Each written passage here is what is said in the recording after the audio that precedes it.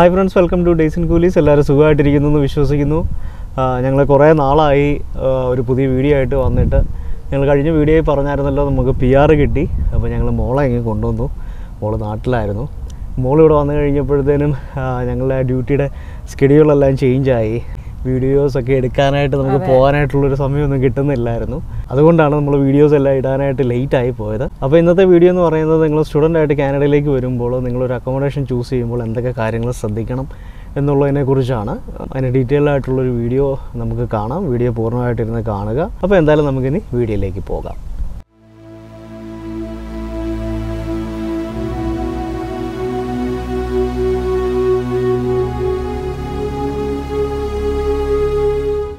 അപ്പോൾ ഇന്നത്തെ വീഡിയോയിൽ ഞാൻ പറയാൻ പോകുന്നത് അക്കോമഡേഷനെ കുറിച്ചാണ്. കാനഡയിലോട്ട് സ്റ്റുഡന്റ് വിസയിൽ വരുന്ന ഒരു സ്റ്റുഡന്റിന് എങ്ങനെയാണ് ഇവിടെ ഒരു അക്കോമഡേഷൻ കണ്ടുപിടിക്കാൻ പറ്റുന്നത്? ഏതൊക്കെ ടൈപ്പ് ഓഫ് അക്കോമഡേഷൻ ഉണ്ട്? അക്കോമഡേഷൻ കണ്ടുപിടിക്കുമ്പോൾ എന്തൊക്കെ ശ്രദ്ധിക്കണം?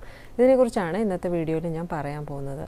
അപ്പോൾ കൂടുതൽ പേരും ഇങ്ങനെ ഇങ്ങോട്ടില്ല ബ്രിഡ്ജിലോട്ടൊക്കെ വരുന്നവരിങ്ങനെ ചോദിക്കാറുണ്ട് അക്കോമഡേഷൻ കണ്ടുപിടിക്കാൻ ഹെൽപ്പ് ചെയ്യാമോ? എവിടെയാണ് അക്കോമഡേഷൻ കിട്ടുന്നത്? കോളേജ് സൈഡ് എവിടെ? അങ്ങനെയൊക്കെ. അപ്പം അതൊക്കെ ഒന്ന് ക്ലാരിഫൈ ചെയ്യാമെന്ന് വിചാരിച്ചാണ് ഈ വീഡിയോ ചെയ്യുന്നത്. അപ്പോൾ ഞാൻ ആദ്യമായിട്ട് പറയാൻ പോകുന്ന ഏതൊക്കെ ടൈപ്പ് ഓഫ് അക്കോമഡേഷൻ ഉണ്ടെന്നാണ്. അപ്പോൾ ഫസ്റ്റായിട്ട് നമുക്കുള്ള ഒരു ഓപ്ഷൻ എന്ന് വെച്ചാൽ കോളേജ് അക്കോമഡേഷൻ ആണ്. നിങ്ങൾക്ക് നിങ്ങൾ പഠിക്കുന്ന കോളേജിന് തന്നെ അക്കോമഡേഷൻ കാണും. അപ്പം കോളേജിനോട് നിങ്ങൾ മെയിൽ അയച്ച് ചോദിക്കുക അക്കോമഡേഷൻ അവൈലബിൾ ആണോ എന്ന്. പക്ഷേ ഇതിന്റെ പ്രശ്നം എന്ന് വെച്ചാൽ കോളേജ് അക്കോമഡേഷൻ ഒത്തിരി എക്സ്പെൻസീവ് ആയിരിക്കും. നമ്മൾ പുറത്ത് നിന്ന് ഒരു പ്രൈവറ്റായിട്ട് നിന്ന് കൊടുക്കുന്നതിനേക്കാളും കുറച്ച് കൂടുതൽ പൈസ കോളേജ് അക്കോമഡേഷന് നിൽക്കുമ്പം കൊടുക്കേണ്ടി വരും. ഞാൻ ലെത് ബ്രിഡ്ജിലോട്ട് സ്റ്റുഡന്റായിട്ട് വന്നപ്പോൾ എനിക്കിവിടെ ലെത് ബ്രിഡ്ജിൽ ആരെ അറിയത്തില്ലായിരുന്നു. അപ്പം ഞാൻ കോളേജ് അക്കോമഡേഷനാണ് എടുത്തത്. കാരണം എങ്ങനെയാണ് അക്കോമഡേഷൻ കണ്ടുപിടിക്കുന്നതെന്നൊന്നും അങ്ങനെ അറിയാത്തതുകൊണ്ട് സ്റ്റുഡ കോളേജ് അക്കോമഡേഷനിൽ തന്നെ നിന്നു. അത് ഇങ്ങനെ വൺ ഇയർ നിൽക്കണം എന്നുള്ള കോൺട്രാക്റ്റ് ഉണ്ടായിരുന്നു. അതുപോലെ തന്നെ വൺ സെമ്മിലെ അക്കോമഡേഷൻ ഫീസ് ഫുള്ള് നമ്മൾ പേ ചെയ്യണം. അപ്പോൾ ഇപ്പോൾ നമ്മൾ പുറത്ത് നിൽക്കുമ്പോൾ ഒരു ഫോർ ഹൺഡ്രഡ് ഡോളറൊക്കെയാണ് കൊടുക്കുന്നതെങ്കിൽ കോളേജ് അക്കോമഡേഷൻ ആകുമ്പം അതൊരു per month six hundred seven hundred dollar അത്രയൊക്കെ ആവും. അത്രയും ഒരു ഡിഫറൻസ് വരും. പിന്നെ കോളേജ് അക്കോമഡേഷൻ നിൽക്കുമ്പോൾ ഫുഡൊന്നും മിക്ക കോളേജിലും ഇൻക്ലൂഡഡ് അല്ലായിരിക്കും. ഫുഡൊക്കെ നമ്മൾ തന്നെ ഉണ്ടാക്കണം. നമ്മുടെ നാട്ടിലെ പോലെ ഫുഡും അക്കോമഡേഷനും എല്ലാം കൂടെ ഒന്ന് ഒരുമിച്ച് അങ്ങനെ ഞാൻ ഇതുവരെ കേട്ടിട്ടില്ല. ഇവിടെ എപ്പോഴും അക്കോമഡേഷൻ മാത്രമേ തരാറുള്ളൂ. ഫുഡ് എപ്പോഴും നമ്മൾ നമ്മൾ തന്നെ കുക്ക് ചെയ്യണം.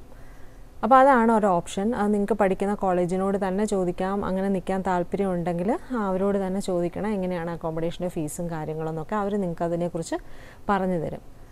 രണ്ടാമത്തെ ഒരു ഓപ്ഷൻ എന്ന് വെച്ചാൽ നിങ്ങൾക്ക് ഷെയർഡ് റൂമാണ് ഇപ്പം നിങ്ങളുടെ കൂടെ ആരെങ്കിലും ഫ്രണ്ട്സ് വരുന്നുണ്ടെങ്കിലോ അല്ലെങ്കിൽ ഇവിടെ ആരെങ്കിലും ഒക്കെ അറിയാമെങ്കിലോ നിങ്ങൾക്ക് അവരുടെ കൂടെ ഒരു റൂം ഷെയർ ചെയ്യാം. എന്ന് വെച്ചാൽ ഒരു റൂമിൽ തന്നെ രണ്ട് രണ്ട് പേർക്ക് നിൽക്കുന്ന പോലെ നിങ്ങൾക്ക് അങ്ങനെ റൂം ഷെയർ ചെയ്ത് നിൽക്കാം. അപ്പോൾ അതിന്റെ ഒരു അഡ്വാന്റേജ് എന്ന് വെച്ചാൽ നിങ്ങൾക്ക് പൈസ കുറേ റെന്റ് ഒത്തിരി കുറവായിരിക്കും. കാരണം നിങ്ങൾ ഷെയർ ചെയ്താണല്ലോ കൊടു നിൽക്കുന്നത്. അപ്പം ഒരു four hundred four fifty dollar അത്രയൊക്കെ മന്ത്ലി വരത്തുള്ളൂ. പിന്നെ അതിനകത്ത് മിക്കതിനകത്തും യൂട്ടിലിറ്റീസ് ഇൻക്ലൂഡഡ് ആയിരിക്കും.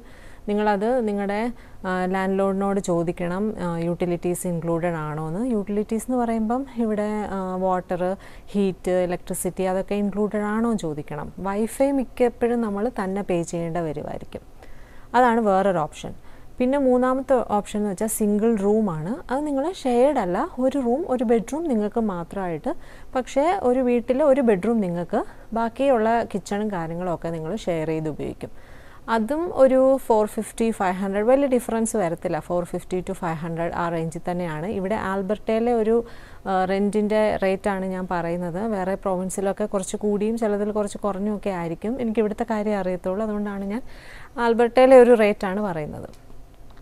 അപ്പോൾ അങ്ങനെ സിംഗിൾ റൂമിൽ നിൽക്കുമ്പോൾ നിങ്ങൾക്ക് പ്രൈവസി ഉണ്ട്. വേറെ ആൾ ആ റൂമിൽ ഇല്ലാത്തപ്പോൾ നിങ്ങൾക്ക് പഠിക്കണമെങ്കിലോ ഇനി ഏർലി മോർണിംഗ് എണ്ണിച്ച് പഠിക്കണമെങ്കിലോ അല്ലെങ്കിൽ ഒത്തിരി ലേറ്റ് നൈറ്റൊക്കെ നിങ്ങൾക്ക് ഇരുന്ന് നിങ്ങളുടെ വർക്കൊക്കെ ചെയ്യണമെങ്കിൽ നിങ്ങൾക്കൊരു പ്രൈവസി കാണും. അതാണ് അതിന്റെ ഒരു അഡ്വാന്റേജ് പിന്നെ കൂടുതൽ സ്റ്റുഡൻസും അങ്ങനെ ഒരു സിംഗിൾ റൂം എടുത്തായിരിക്കും നിൽക്കുന്നത് കാരണം ഷെയർഡ് റൂമിനകത്തും സിംഗിൾ റൂമിൽ നിൽക്കുന്നതിനും തമ്മിൽ വലിയൊരു ഡിഫറൻസ് എമൗണ്ടിൽ വരത്തില്ല. അപ്പോൾ കൂടുതൽ പേർക്കും അങ്ങനെ നിൽക്കാനാണ് താല്പര്യം.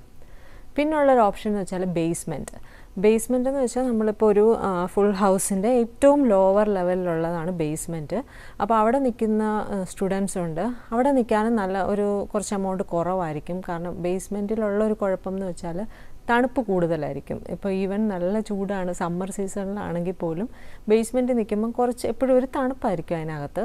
അങ്ങനെ ഒരു പ്രശ്നമേ ഉള്ളൂ. ഞങ്ങൾക്കത് എനിക്കത് ഭയങ്കര ബുദ്ധിമുട്ടാണ്. കാരണം എപ്പോഴും ഇങ്ങനെ തണുപ്പടിക്കും പനിയൊക്കെ വരും. അപ്പോൾ അതുകൊണ്ട് ഞാൻ അങ്ങനെ ബേസ്മെന്റ് അങ്ങനെ നിന്നിട്ടില്ല. പക്ഷേ വേറെ സ്റ്റുഡൻസ് പറയുന്നത് കേട്ടിട്ടുണ്ട്. ഭയങ്കര തണുപ്പാണെന്നൊക്കെ. അതിനും ഇതുപോലെ പൈസ കുറവായിരിക്കും. ഒരു ഫോർ ഫിഫ്റ്റി ഫൈവ് ഹൺഡ്രഡ് ആ റേഞ്ചിലൊക്കെ ആയിരിക്കും ബേസ്മെന്റിന്റെ റെന്റ് എമൗണ്ടും വരുന്നത്.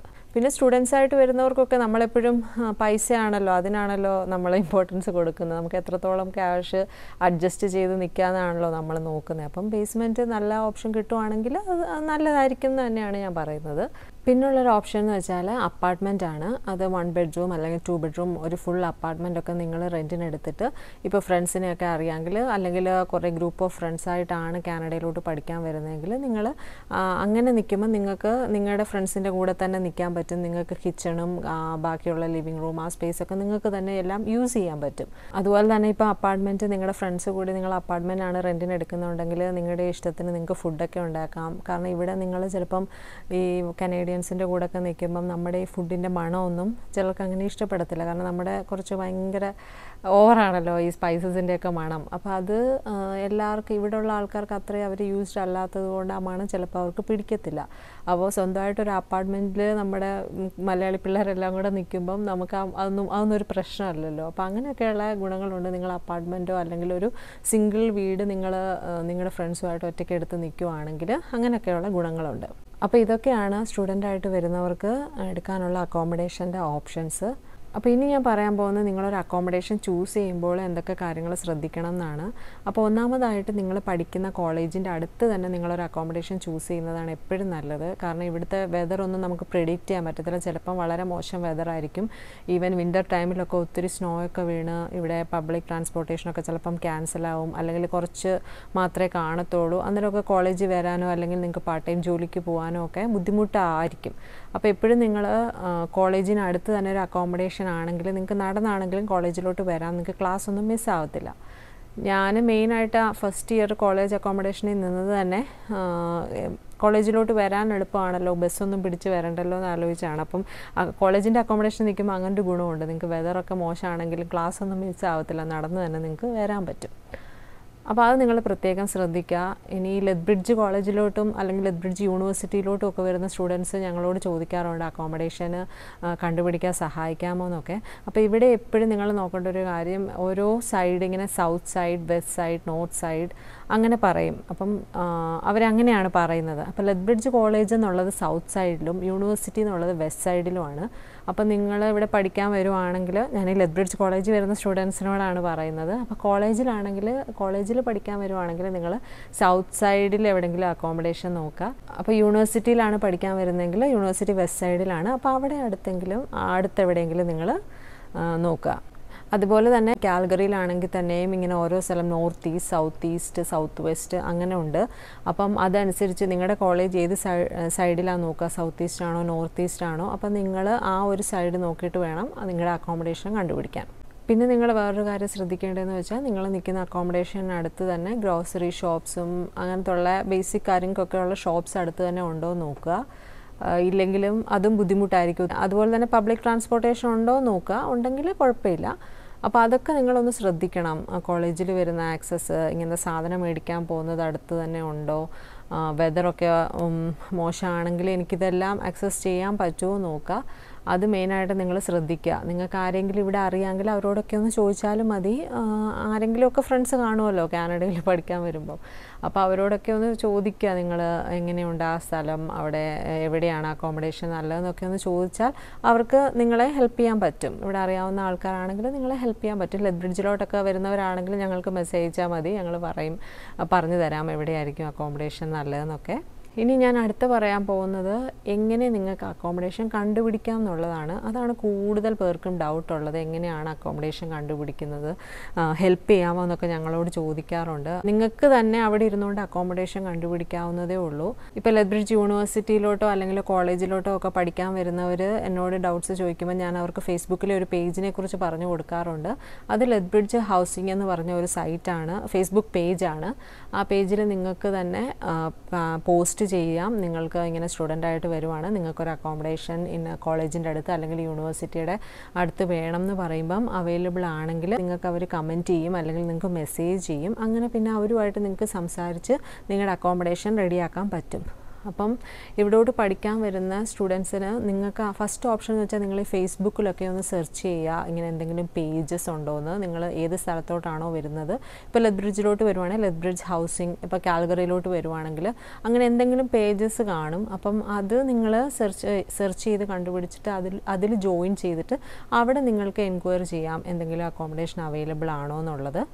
അതാണ് ഒരു ഓപ്ഷൻ. ഫേസ്ബുക്ക് പേജ് സെർച്ച് ചെയ്ത് നോക്കുക. അതുപോലെ തന്നെ മലയാളി അസോസിയേഷൻ ഇപ്പോൾ ലെദ്ബ്രിഡ്ജ് മലയാളി അസോസിയേഷൻ അല്ലെങ്കിൽ കാൽഗറി മലയാളി അസോസിയേഷൻ അങ്ങനെയൊക്കെയുള്ള പേജസ് ഉണ്ട്. അതിലും നിങ്ങൾക്ക് ജോയിൻ ചെയ്തിട്ട് കമൻസ് ഇടാം. നിങ്ങളിങ്ങനെ സ്റ്റുഡന്റ് ആയിട്ട് വരുവാണ്. നിങ്ങൾക്ക് അക്കോമഡേഷന് കണ്ടുപിടിക്കാൻ ഹെൽപ്പ് ചെയ്യാമോ? അല്ലെങ്കിൽ അക്കോമഡേഷൻ അവൈലബിൾ ആണോ എന്നൊക്കെ ചോദിക്കുമ്പോൾ നിങ്ങൾക്ക് എവിടെയെങ്കിലുമൊക്കെ ഒരു ഹെൽപ്പ് കിട്ടും. അപ്പോൾ അതാണ് ഒരു ഓപ്ഷൻ പിന്നെ രണ്ടാമതുള്ള ഓപ്ഷൻ എന്ന് വെച്ചാൽ ഇങ്ങനെ ഓരോ സൈറ്റ്സ് ഉണ്ട്. അപ്പോൾ അതിനകത്തുള്ളതാണ് കിജിജി എന്ന് പറഞ്ഞ സൈറ്റ് അപ്പോൾ ആ സൈറ്റിൽ നിങ്ങൾക്ക് നിങ്ങളുടെ ആ ഏത് പ്ലേസിലാണോ നിങ്ങൾ വരുന്നത് അത് സെർച്ച് ചെയ്ത് കൊടുത്താൽ അല്ലെങ്കിൽ അവിടുത്തെ ഒരു പോസ്റ്റൽ കോഡൊക്കെ അടിച്ചു കൊടുത്താൽ നിങ്ങൾക്ക് അറിയാൻ പറ്റും. അതിനടുത്തുള്ള അക്കോമഡേഷൻസ് എല്ലാം കാണാൻ പറ്റും. അത് ത്രൂ നിങ്ങൾക്ക് നിങ്ങളുടെ ലാൻഡ് ലോഡിനെ കോൺടാക്റ്റ് ചെയ്യാൻ പറ്റും. പിന്നെ ഉള്ളത് നിങ്ങൾക്ക് ഇവിടെ ആരെങ്കിലും അറിയാമെങ്കിൽ അവരോട് ചോദിക്കുക ഏത് സൈഡിലാണ് നിങ്ങളുടെ യൂണിവേഴ്സിറ്റി ഏത് സൈഡിലാണ് നിങ്ങൾ അക്കോമഡേഷൻ കണ്ടുപിടിക്കേണ്ടതെന്നൊക്കെ നിങ്ങളുടെ ഫ്രണ്ട്സോ അല്ലെങ്കിൽ റിലേറ്റീവ്സോ ആരെങ്കിലും ഉണ്ടെങ്കിൽ അവരോടൊക്കെ ചോദിക്കുക. അപ്പോൾ അവർ നിങ്ങൾക്ക് പറഞ്ഞു തരുമല്ലോ എവിടെയാണ് അക്കോമഡേഷൻ കണ്ടുപിടിക്കേണ്ടതെന്നൊക്കെ. പിന്നെ നിങ്ങളിവിടെ അക്കോമഡേഷന് വരുമ്പോൾ എപ്പോഴും നിങ്ങളൊരു ഡെപ്പോസിറ്റ് ആയിട്ടൊരു എമൗണ്ട് പേ ചെയ്യേണ്ടി വരും. അതൊരു one month rent full rent extra നിങ്ങൾ അടയ്ക്കേണ്ടി വരും. അത് മിക്ക അക്കോമഡേഷനും ലാൻഡ് ലോഡ് ചോദിക്കുന്ന ഒരു കാര്യമാണ്. വൺ മന്തിൽ ഫുൾ റെന്റ് നമ്മൾ ആദ്യമേ പേ ചെയ്യേണ്ടി വരും. അതിന് ഡെപ്പോസിറ്റ് എന്നാണ് പറയുന്നത്. ആ ഡെപ്പോസിറ്റ് നമുക്ക് തിരിച്ചു കിട്ടും. നമ്മളിപ്പം ആ അക്കോമഡേഷന്റെ കോൺട്രാക്റ്റ് കംപ്ലീറ്റ് ചെയ്ത് നമ്മൾ അവിടുന്ന് പോകുമ്പോൾ അവർ നമുക്ക് നിങ്ങൾ അവിടെ ആ ഒരു സ്പേസിൽ ഡാമേജ് ഒന്നും ഉണ്ടാക്കിയിട്ടില്ല. അത് അവർ ചെക്ക് ചെയ്യും ഇൻസ്പെക്ഷൻ ചെയ്യുമ്പം എല്ലാം ഓക്കെ ആണെന്നുണ്ടെങ്കിൽ ആ എമൗണ്ട് നിങ്ങൾക്ക് തിരിച്ചു കിട്ടും. പിന്നെ നിങ്ങൾ ഒരു സ്ഥലത്ത് നിന്ന് അവിടുത്തെ കോൺട്രാക്റ്റൊക്കെ കഴിഞ്ഞ് നിങ്ങൾ ആ സ്ഥലത്ത് നിന്ന് മാറുവാണെങ്കിൽ നിങ്ങൾ നിന്ന സ്പേസ് നിങ്ങൾ ക്ലീൻ ചെയ്ത് ഈവൻ വാൾ അടക്കം ക്ലീൻ ചെയ്ത് വേണം ക്ലീൻ ചെയ്തിട്ട് വേണം പോവാൻ. കാരണം അവർ ഇൻസ്പെക്ട് ചെയ്യുമ്പോൾ എല്ലാം നീറ്റ് ആൻഡ് ക്ലീൻ ആയിട്ട് ഇരുന്നാലേ നിങ്ങൾക്ക് ആ ഡെപ്പോസിറ്റ് ആയിട്ട് നിങ്ങൾ കൊടുത്ത എമൗണ്ട് തിരിച്ചു കിട്ടത്തുള്ളൂ. അപ്പോൾ ഇതൊക്കെയാണ് നിങ്ങൾ കാനഡയിലോട്ട് സ്റ്റുഡന്റ് ആയിട്ട് വരുവാണെങ്കിൽ ഒരു അക്കോമഡേഷൻ സെലക്ട് ചെയ്യുമ്പോൾ ശ്രദ്ധിക്കേണ്ട കാര്യങ്ങൾ ഞാനിത് എന്റെ എക്സ്പീരിയൻസിൽ നിന്നും ഞാൻ മനസ്സിലാക്കിയ കാര്യങ്ങളൊക്കെയാണ് നിങ്ങളോട് ഷെയർ ചെയ്തത്. അപ്പോൾ ഈ വീഡിയോ എല്ലാവർക്കും ഹെൽപ്ഫുൾ ആയെന്ന് വിചാരിക്കുന്നു. വീഡിയോ ഇഷ്ടമായെങ്കിൽ നിങ്ങളിത് ലൈക്ക് ചെയ്യുക ഷെയർ ചെയ്യുക സബ്സ്ക്രൈബ് ചെയ്യുക. അപ്പോൾ ഇനി പുതിയൊരു വീഡിയോ ആയിട്ട് വരുന്നവരെ എല്ലാവരും ടേക്ക് കെയർ ഗോഡ് ബ്ലസ്